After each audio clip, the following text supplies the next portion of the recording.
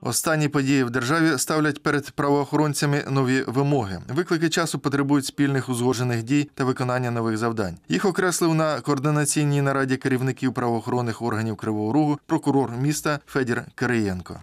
Необхідно забезпечити громадський порядок в місті, попередити скоєння в нашому місті захоплень державних будівель і споруд, фінансових установ, нападів на приміщення правоохоронних органів, а також можливих проявів бандитизму та сепаратизму, боротьба з корупцією у всіх її проявах.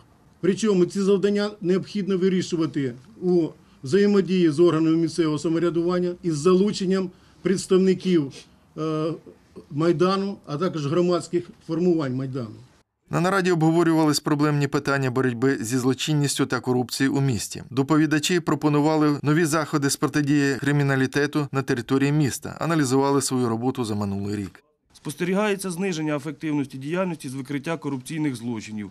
Е, Це 12 проти 17 за 2012 рік. Із направлених до суду проваджень на сьогодні розглянуто лише 3, а 8 до цього часу розглядаються судами. Тому прокурорам необхідно вжити невідкладних заходів до їх розгляду в найкоротші терміни.